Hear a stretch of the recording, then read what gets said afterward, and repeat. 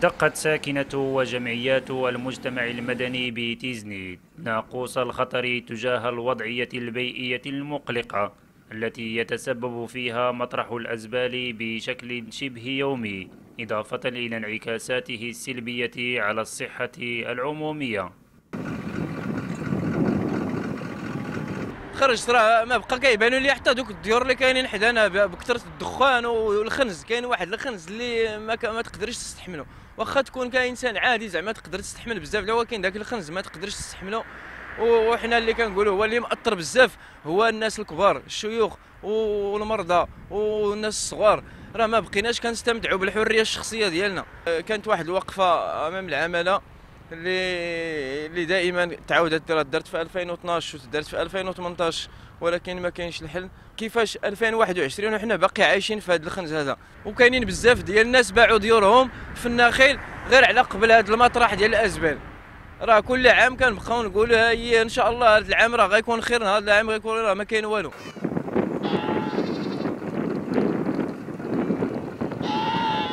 معاناة يومية جعلت الساكنة المحلية تخرج للاحتجاج بشوارع المدينة في ظل جائحة كورونا. مطالبة الجهات المسؤولة بالتدخل لوضع حد لهذا المشكل الذي عمر طويلا بالمنطقة. الاشكال ديال المطرح بصفة عامة هو إشكال إشكال اللي هو كبير.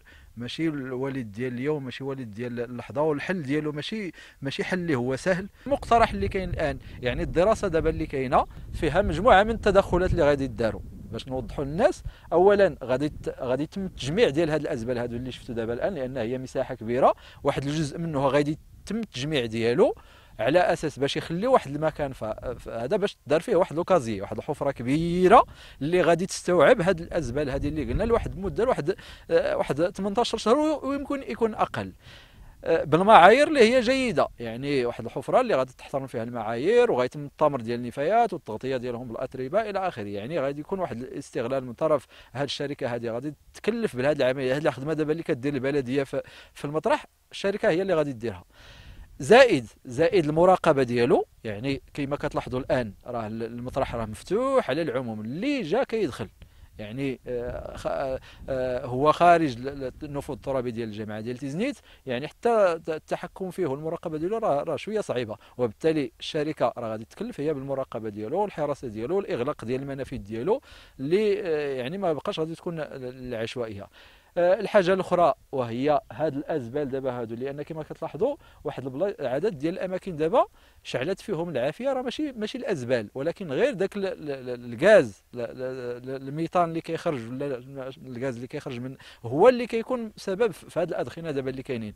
فالحل ديالو هو يتم التغطية ديالو بالتراب. يعني خص يتغطى هذا سميتو يتغطى هاد هاد النفايات كل دابا اللي هي قديمة اللي كتعود لازيد من من من 12 ولا 15 سنة فغيتم التغطية ديالها باش ما بقاش يكون عندنا هذا المشكل. حلول تنضاف إليها أخرى تنتظر فقط موافقة الجهات المختصة حسب متتبعين للشأن المحلي. هو مشروع وحدة آه، ومعالجة وتدوير النفايات واللي غيخلق لنا 18000 آه، منصب شغل إن شاء الله عندنا في المنطقة ديال تيزنيت. واللي تتقدر التكلفه المالية ديالو ب 220 مليار سنتيم مدعم من آه، من بنك الأوروبي من بنك الاتحاد الأوروبي. هذا في شقه الاقتصادي وكذلك في الشق الاجتماعي هناك مساهمة من الاتحاد الأوروبي. آه، وإن شاء الله غادي تتم 24 وحدة للفرز النفايات آه، من بينهم المعدر الكبير.